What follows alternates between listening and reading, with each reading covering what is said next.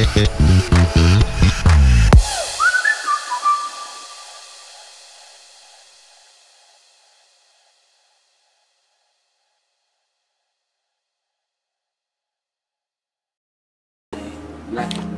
Second one, second one.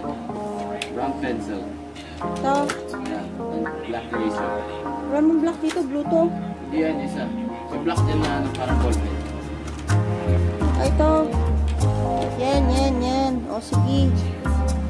Okay, go back to work. Ito yung aking working area kung saan ko gagawin yung portrait ng aking friend. Ang gagamitin natin ngayon ay itong ang gaga- ang gagamitin ko ngayon itong vellum board. Sa Lazada namin in-order ito ng anak ko. Okay. Bawal ang blurry. Yan.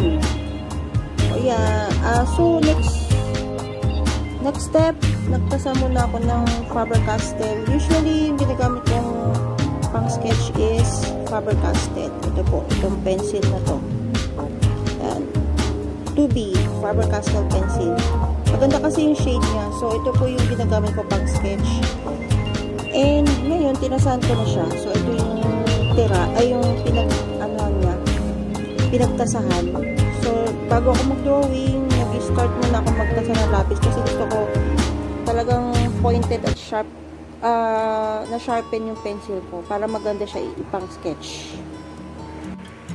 Okay guys, naghanda muna ako ng ilang gamit Aside from vellum board, meron akong Faber-Castell 12 classic color pencils na gagamitin, one piece of ball pen, and one Faber-Castell 2B pencil, and one sharpener.